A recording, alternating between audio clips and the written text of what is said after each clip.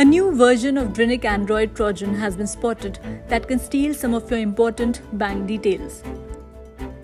Drinik is an old malware which has been in news since 2016. The Indian government had previously issued a warning to Android users about this malware. Newer version of virus is specifically targeting users in India and those who use 18 specific Indian banks.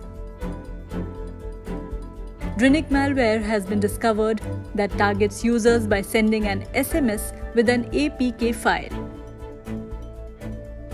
It contains an app called iAssist, which impersonates India's Income Tax Department's official tax management tool.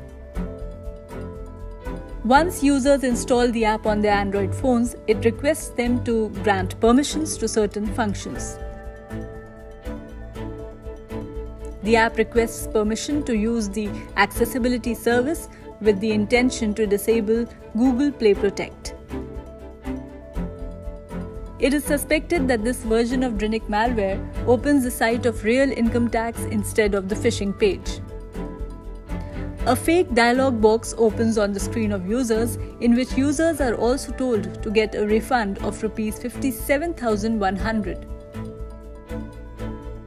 Clicking on the refund button opens the phishing page which steals all the personal details.